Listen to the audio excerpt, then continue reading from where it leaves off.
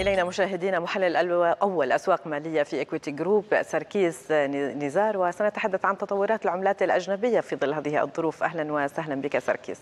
صباح الخير. صباح الخير.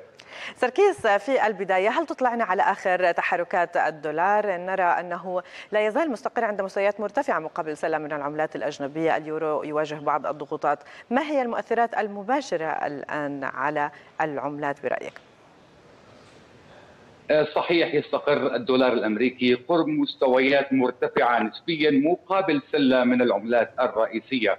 البيانات الاقتصادية التي صدرت الأسبوع الماضي بحسب مؤشرات مديري المشتريات أظهرت بأن الاقتصاد الأمريكي ما زال النمو فيه يتسارع حيث إن قطاع الصناعات التحويلية وكذلك قطاع الخدمات أظهرت بيانات أفضل مما كان متوقع.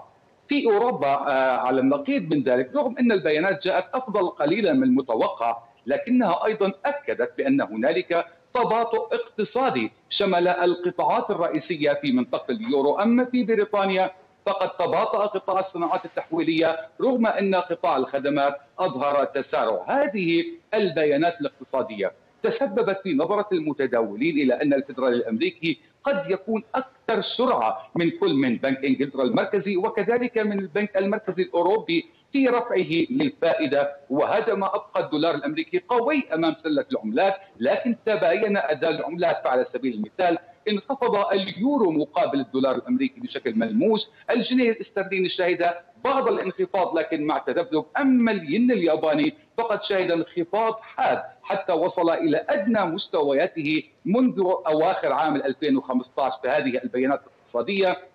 زادت من احتمالية رفع الفائدة في الفدرالي الأمريكي لكن بوتيرة أبطأ في بنك إنجلترا المركزي. أما المركزي الأوروبي فمن غير المتوقع أن يرفع الفائدة إلا خلال الربع الرابع من هذه السنة فيما بنك اليابان المركزي قد لا يرفع الفائدة على مدى هذه السنة كاملة بل ربما أيضا العام المقبل. نعم يعني عندما نتحدث اسيويا هناك بعض الاستقرار إلى حد ما يعني عندما نتحدث عن التداولات. هل برأيك هناك بعض المؤشرات المنتظرة؟ هل هناك أي حالة من الترقب؟ عندما نتحدث أيضا عن القارة العجوز بعد هذا الاجتماع للناتو مع جو بايدن هل هناك أي تحركات أو حتى أحيانا يعني إحباط إلى حد ما في المنطقة؟ يؤثر على العملات بشكل مباشر؟ أه بالفعل في منطقة اليورو شهدنا خلال أعوام 2015 2016 كيف كان تأثر اليورو بشكل كبير جدا في العقوبات التي فرضت آنذاك على روسيا من الدول الغربية وحاليا؟ من المعروف بأن منطقة اليورو بل الاتحاد الأوروبي يعتمد بشكل ليس بقليل على المعاملات التجارية مع روسيا، بالتالي أي تزايد في التوترات الجيوسياسية قد ينعكس بالسلب على اليورو قد ينعكس أيضا بالسلب على الثقة في منطقة اليورو باعتبارها بأنها الجهة التي ربما ستكون أحد الجهات الأكثر تضررا بعد روسيا وأوكرانيا في هذه الأزمة. إما بانتقالنا إلى آسيا. لاحظنا بأن الأسواق المالية بدأت تتابع موضوع مهم جدا وهو فروقات عوائد السندات. فرق العائد ما بين الولايات المتحدة للسندات 10 سنوات واليابان على سبيل المثال ارتفع إلى 217 نقطة. فهذا يدل بأن هنالك تدفقات سيولة هائلة تتوجه من آسيا إلى الولايات المتحدة إن كان في سبيل الاستثمار أو في سبيل الادخار في ظل توقعات رفع الفائدة، فبالفعل هذا الأسبوع سنكون اولا مع أي تطورات في الثقه بالأسواق المالية التي قد تعكسها أي تطورات بخصوص قضية التوترات الجيوسياسية، أضيف على ذلك هذا الأسبوع بأننا بانتظار بيانات الوظائف الأمريكية يوم الجمعة المقبل وهذه البيانات من المعروف بانها ذات تأثير ملموس على الأسواق المالية وتشير التوقعات بأن هذه البيانات قد تظهر انخفاض معدل البطالة في الولايات المتحدة من 3.8%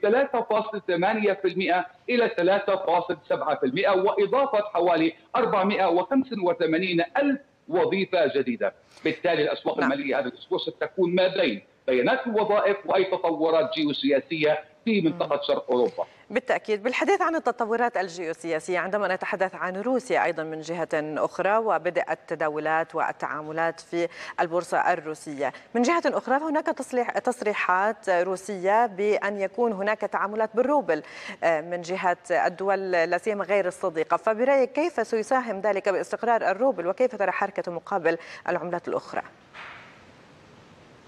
آه، بداية يجب أن أشير بأن الروبل الروسي في موقف ضعيف جدا مقارنة في مستوياته قبل عدة أشهر حيث يتم تداول الروبل الروسي آه، بحسب آخر الإغلاقات عند 102 روبل للدولار الأمريكي الواحد.